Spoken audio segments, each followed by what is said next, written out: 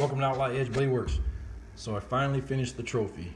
Uh, for a friend of mine, real good buddy of mine that lives here in the same town as me, and uh, he wanted a trophy for the uh, for some deal that they're doing for the sheriff's department or whatever. And uh, I told him I'd donate my time and uh, help him build it and whatever. And so he wanted something handmade, and I'm really happy how it turned out. I just got it clear coated today, and it's dry and ready to be picked up.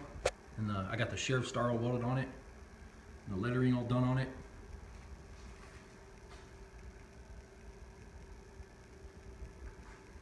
It turned out pretty cool. I got the bullets right here, and then these are nuts off of a Harley or off of a motorcycle.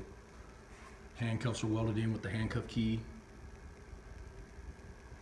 And then I built the little tower and then uh, handmade the football and all that stuff. You guys might have followed the video or whatever. But it turned out pretty cool.